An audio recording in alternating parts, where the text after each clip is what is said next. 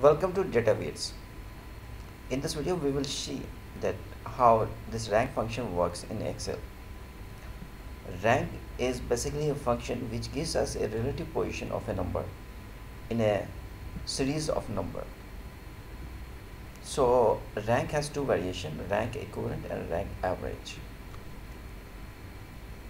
So let us see we have a data set of uh, a pool of candidates and we have marks obtained by them also.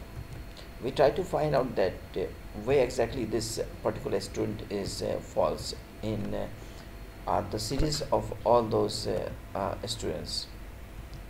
So we first use the rank function rank equivalent. Then we will use rank average and we'll try to find out the where exactly the difference both have both differs.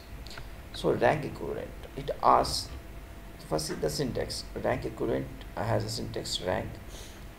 Uh, number reference and then order. What is number? Number says that uh, the number uh, which we wanted to uh, try out to find out the rank.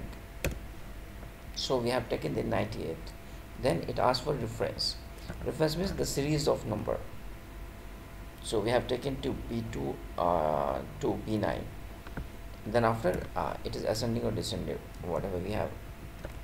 So we have taken like this and we pasted this number from uh, up to down. Now we can see that uh, this number 98 has uh, two appearance in the series and both have given the rank number 1 it can say 98 and 98 then after this we'll try to find out the rank 2 there is no rank 2 because the number 98 has come two times. So rank 2 is missing. Now the rank 3 is available. That is uh, for 92 number. Then rank 4 rank 5 rank 6 and so on. Now we will try to use the another function rank average. It is also the same syntax. Rank it asks for the number. It asks for the reference then order ascending or descending but there is a very subtle difference. We can see that there is a rank of uh, 1.5 and 1.5 for 98 this number this number sorry. This number and this number.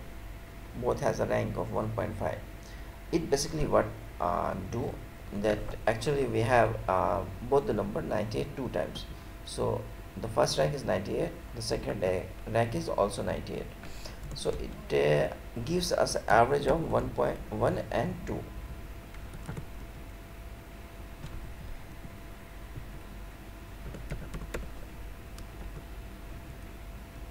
which is 1.5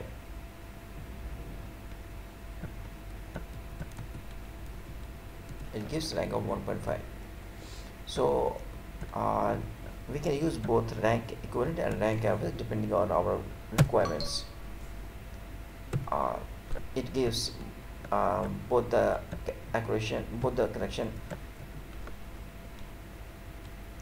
So i hope uh, you have enjoyed this video and uh, would request you to kindly subscribe and share our video. Thank you for watching. Database